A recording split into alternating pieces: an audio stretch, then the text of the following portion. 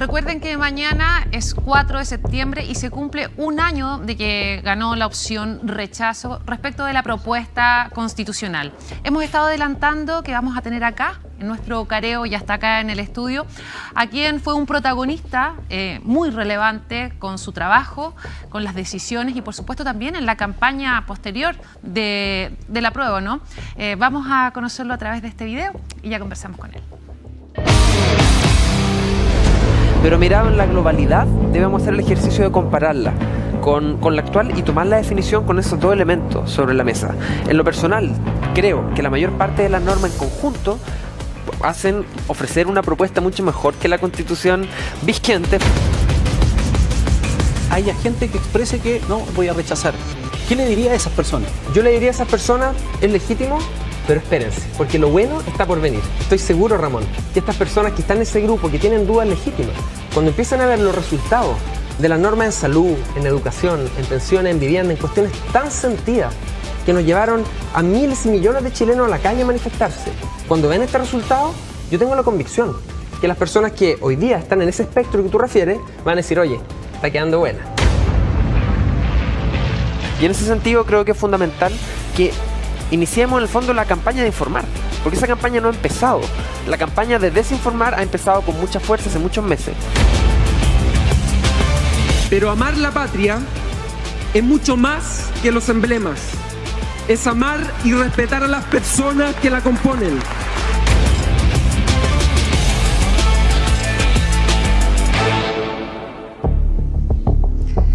Ya lo veían ahí, está con nosotros Gaspar Domínguez, él es doctor, es médico, ¿cierto? Y además fuiste vicepresidente de la Convención Constitucional en la que también me tocó participar los últimos seis meses, ¿cierto? Porque el periodo del año en que estuvimos trabajando se dividió en dos. Eh, ¿Ver esas imágenes eh, te produce algo? Sí, bueno, buenas noches Bárbara, buenas noches a todos que nos escuchan y al panel, por supuesto.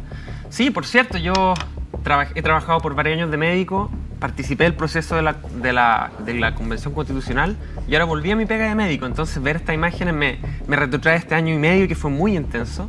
Yo siempre digo, como médico yo tengo turnos de urgencia una vez a la semana. Y la convención fue como estar de urgencia todos los días, todo el día por un año. Entonces la verdad me trae recuerdo de un momento muy intenso. Sí.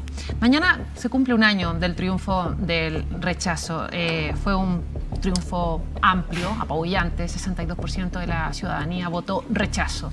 Eh, hoy mirando en perspectiva, ¿votarías a prueba?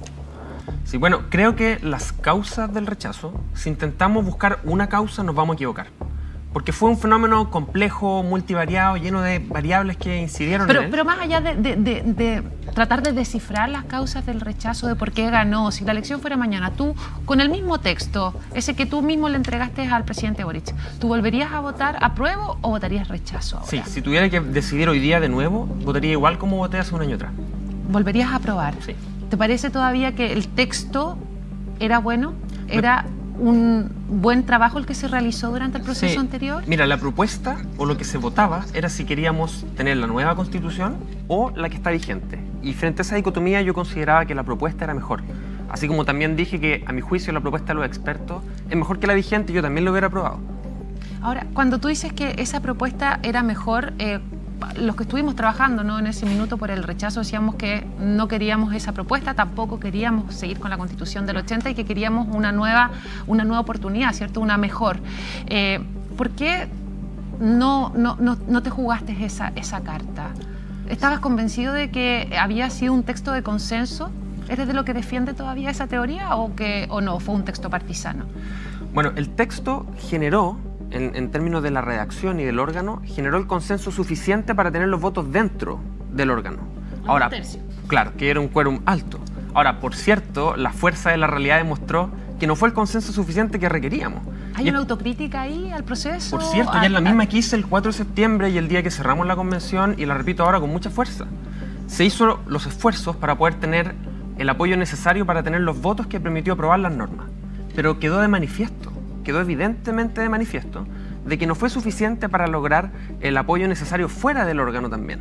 Y en ese sentido creo que el principal aprendizaje, y que es necesario tenerlo presente ahora, en la discusión que estamos teniendo ahora en el Consejo Constitucional, no basta tener los votos adentro, es necesario también tener el apoyo suficiente afuera.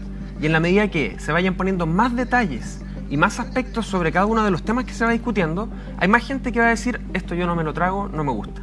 Ahora, pero a- habían ciertas alertas, ¿no? Eh, tuvimos una elección parlamentaria, una elección presidencial. Podríamos hablar de que la derecha tenía un 45% de los votos si analizamos un poco los resultados de- de esas elecciones. Pero al interior de la convención tal vez había una especie de ceguera o un exceso de confianza en decir, nosotros entramos en este proceso con un 78% de aprobación y la música la ponemos nosotros. Eh, y por eso nos invitó a conversar a la derecha. Sí, yo creo que hubo efectivamente parte de lo que pudiéramos llamar como una borrachera electoral, que es lo mismo que veo ahora también en, el proceso vigente.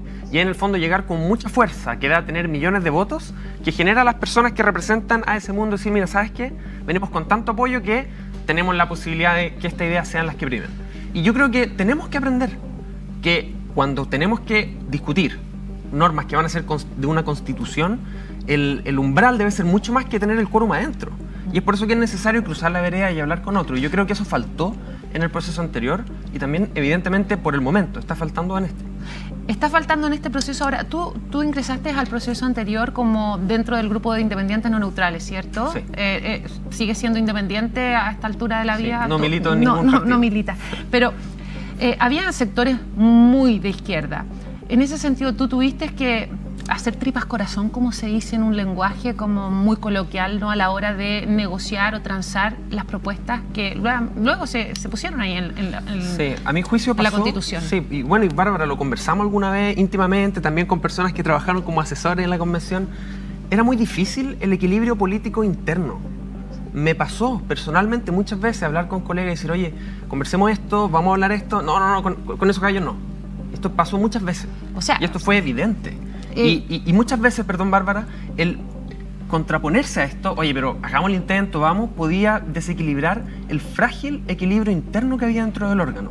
Y además, ¿Cuál un es ese frágil, perdón, equilibrio interno que te refieres? Porque, eh, a ver, eh, aquí me cuesta hacer mi rol de conductora periodista porque yo estaba ahí, entonces, Sí, claro. y, y- y la gente lo sabe y no puedo engañar, ¿no? Pero, pero era muy difícil. Tú, tú estás consciente que yo siempre traté como de cruzar los puentes Sí, y tratar de Yo lo conversé contigo varias veces. sociabilizamos claro. muchas normas. Eh, pero, pero la verdad es que llega un minuto en que las cosas se ponen muy complejas y cuando comenzamos las votaciones, eh, al final, Bárbara, bonita tus propuestas. Fue una conversación que incluso nosotros tuvimos, ¿cierto? Bonitas tus propuestas, pero, pero tú eres de, de este grupo, tú perteneces o entraste, yo soy independiente, ¿cierto? Pero eh, fui por Chile Vamos, entonces eh, eso, eso generaba un, estás fuera, no te apruebo nada. Eh, eso, eso no sé si lo- eso está sucediendo ahora. Claro, mira, Es, pero ahí, ahí fue algo muy determinante y la ciudadanía se dio cuenta de eso. como te digo, se hicieron los esfuerzos al interior por lograr el quórum que permitiera tener los dos tercios que permitiera aprobar las normas. Mm. Y quedó de manifiesto que eso no era suficiente. Y creo que el esfuerzo que tenemos que hacer con el aprendizaje de los porrazos, porque el proceso de ahora, a diferencia del anterior, tiene una experiencia previa. El proceso ahora tiene la experiencia previa de lo que pasó la vez anterior y por eso es que hay que hacer todos los esfuerzos por, utilizando esos aprendizajes, no repetir los mismos errores. Y un error que hubo en el proceso anterior, que yo tuve el honor de liderar en la segunda parte, fue justamente bastar con tener los votos y no considerar que también hay que subir al carro del acuerdo a las personas cuyos votos quizás no son necesarios para aprobar la norma. Hoy día lo que hizo el Partido Republicano, eh, bajando cierto cuatro enmiendas que para ellos son muy importantes, eh, ¿tú crees que es un, un- es un paso en este incorporar al otro, el tratar de eh, abrirse, de sociabilizar las normas? Sí, de todas maneras, es un paso que va en la dirección de lo que, de lo que hay que hacer. Ahora, si yo tengo, por ejemplo, de aquí a Viña del Mar hay que dar varios pasos para llegar. Y yo podría dar ahora dos pasos y falta mucho para llegar. Entonces, bueno, digo este ejemplo absurdo, ¿cierto? Un poco porque que vaya en la dirección no significa que sea suficiente. Yo veo con buenos ojos que se haya hecho, mire, ¿sabe qué? Estas cuatro alertas que se han puesto las vamos a bajar. Quedan, eh, no, no sé cuánto es el número, ¿cierto? Son varios cientos de otras enmiendas y esperamos que se siga avanzando en la dirección de tomar eh, consensos, no solo con los votos que están dentro del órgano, Ahora- sino que afuera. Porque aparte de esas cuatro que se bajaron, Bárbara, hay temas que hoy día son muy serios de cosas que se han ido aprobando en materia de crisis climática y medidas de mitigación. Eh, el, el asunto que ha generado tanta controversia respecto de las contribuciones, en aspectos que tienen que ver con cambiar verbos de garantizar por promover los derechos sociales. O sea, hay muchos aspectos en los que todavía no hemos logrado cierto mínimo consenso y creo que la propuesta de los expertos, que si bien nadie pudiera estar de acuerdo con todos y cada uno de los artículos, se acercaba un poco más a este pseudo consenso de izquierdas y derechas. Y yo veo con preocupación que nos vayamos alejando. Y en ese sentido, bajar cuatro enmiendas creo que va en la dirección de lo correcto y esperemos que sigamos avanzando en esa dirección para no cometer los mismos errores. Eh, ahora, tú hablas de que se cometieron errores, pero cuando uno en general analiza aquellos que, y, aquí te vuelvo a dar las gracias porque estás acá, porque han sido, eh, eh, no, es fácil, ¿cierto? Que alguien que promovió el apruebo hoy día quiera dar la cara, así que súper agradecidos y por eso. Pero tú hablas de los errores que se cometieron, sin embargo hay un sector que solamente culpa a las supuestas fake news. Bueno, como partí diciendo Bárbara, atribuirle a una sola causa un fenómeno complejo te va a llevar siempre al error. Y esto en todo orden de cosas, no solo aquí. Y este, el rechazo, si hubiera que desmembrar el resultado electoral es por muchas cosas. Y por cierto, una de las cosas que a mi juicio es de las más relevantes, y no solo juicio mío, juicio de la encuesta CEP, que salió en enero del año 2023, más del 30% de los encuestados tenían entre primera y segunda causa de haber rechazado aspectos vinculados a la forma a las excentricidades que hubieron vinculadas al proceso. ¿Cuáles crees tú que fueron las peores? Hay una lista. No, pero ¿cuál? Hay una lista, o sea, los chascarros vinculados a, este asunto de los disfraces, por ejemplo, el, el, colega que votó, ¿cierto?, haciendo otra actividad en la ducha, o sea, y son varias las cosas, y no tiene sentido, digamos, ponerse a enumerarlas, pero la forma, las formas yo creo que fue una de las cosas que más impactó. También el fondo, si nos quedamos solo con la forma, el caso nos vamos a equivocar. Eh, más que es una forma, también hay un fondo, ¿no? Él actuó de cierta manera, pero eh, la mentira, es algo que dañó la credibilidad del proceso y también quebró al interior de la convención. Recordemos que ahí empieza a fraccionarse lo que era en ese minuto la lista del pueblo. Sí, sí, por eso te digo, la forma, el fondo, es decir, había gente que nunca se tragó esta cosa de la plurinacionalidad, no, no logró hacerle sentido. Y está bien, es razonable. Hay gente probablemente más vinculada al mundo académico que quizás no quedó conforme con algunas cuestiones vinculadas al régimen político y así hay distintas razones hay gente que por la forma, hay gente que por el fondo, hay cosas que están vinculadas también a la información. Hubo mucha falta de información. Yo recorrí prácticamente todo Chile em, promocionando o mostrando el texto y era impresionante, a cada rincón que iba la gente estaba preocupada de que iba a perder su casa si el texto se aprobaba. A ver, pero Eso fue una realidad. Sí, pero hubo 900.000 eh, constituciones impresas, ¿cierto? Del proyecto constitucional que, que, repartió el gobierno por todo Chile. Se hicieron campañas. Hoy día eh, uno mirando, tratando de entender la plata de las fundaciones, estas truchas, algo de eso se ocupó seguramente también para, para promover el apruebo en su minuto. Eh, no, obviamente estos... Pero... pero... a ver, eh, lo, que yo eh, aquí quiero como tratar de, recalcar es, de alguna manera, lo que pasa cuando un texto que fue rechazado por la ciudadanía, en su mayoría por la ciudadanía, tú dices que eres mejor que la constitución actual y que la seguirías votando a prueba. Para ti no era una, una constitución en que la, la, plurinacionalidad generaba un conflicto también en la sociedad, donde eh, las distintas justicias que se establecían generaba un, problema en la sociedad chilena, donde eh, todo lo que se produjo en, en, torno a nuestros emblemas nacionales, recordemos que tuvimos un acto en el norte de nuestro país donde no se hizo la bandera nacional y donde tampoco se cantó el himno nacional. O sea, habían cosas que los chilenos eh, de verdad le hicieron mucho ruido. Dividir nuestro país como queda dividido. Claro, bueno, como te decía Bárbara, hay muchas razones que lo explican. La forma, el fondo, la información que estaba disponible y también, hay que decirlo, el contexto político. Cuando yo recorrí Chile era impresionante. O sea, uno llegaba con la propuesta y la gente veía que la propuesta era sinónimo del gobierno del presidente Boric. Eran, eran lo mismo. Eso nos pasó.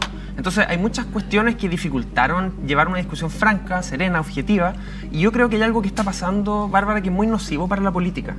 Y es que se están fortaleciendo tantas las posiciones propias de las personas que incluso genera divisiones dentro de las familias, de los compañeros de trabajo, en distintos espacios, mm. donde a la persona que piensa distinto se le ve como un otro eh, alejano, como un otro que incluso se infravalora en su razón moral. Eso lo vimos en la convención. Sí, y lo vimos antes y lo vimos después.